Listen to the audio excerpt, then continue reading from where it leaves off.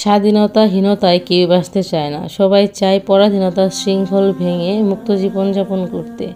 আমাদের দেশের মানুষও পরাধীনতার শৃঙ্খল ভেঙে মুক্তি ছিনিয়ে এনেছে পশ্চিম পাকিস্তানি হানাদার সেনাবাহিনীর কাছ থেকে। আর সেই দিনটি ছিল উনিশশো একাত্তর সালের ষোলোই ডিসেম্বর। সেই জন্য বাঙালি জাতির কাছে একটি একটি গুরুত্বপূর্ণ দিন। এই দিনটি আমাদের জাতির জীবনের একটি নতুন অধ্যায়ের সূচনা করে।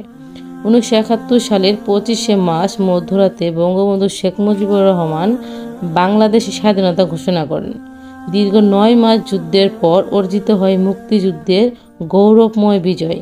জন্ম নেয় নতুন রাষ্ট্র বাংলাদেশের আমাদের বাংলাদেশের বিজয় দিবসের প্রেক্ষাপটে রয়েছে বিপুল ত্যাগ এবং সংগ্রামের ইতিহাস। সেই ইতিহাসের এক গৌরবময় মাইন ফলক মহান ভাষা আন্দোলন। দীর্ঘ নয় মাস ধরে চলে মুক্তি সেনাদের সেই রক্তক্ষয়ী যুদ্ধ।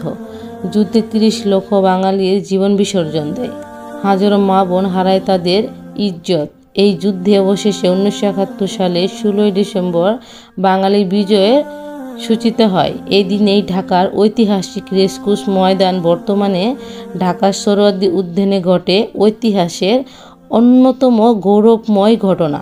পাকিস্তানি হানাদার বাহিনী মাথা নিচু করে অস্ত্র মাটিতে ফেলে আত্মসমর্পণ করে আমাদের বীর মুক্তিবাহিনী ও ভারতীয় মৈত্রবাহিনীর কাছে।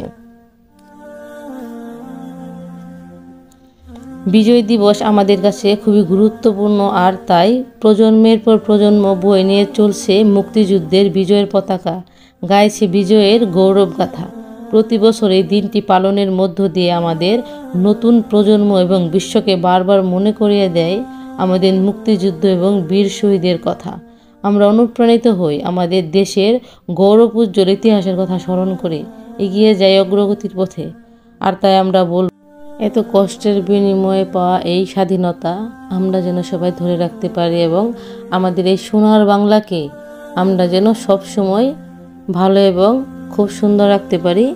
সে সেই কামনায় আমি আমার কথা এখানে শেষ করছি। আমি কামরুন্নার সবাই ভালো থাকবেন। সুস্থ থাকবেন এবং বিজয় দিবসের শুভেচ্ছা সবাইকে। আল্লাহ হাফেজ। আসসালামু আলাইকুম।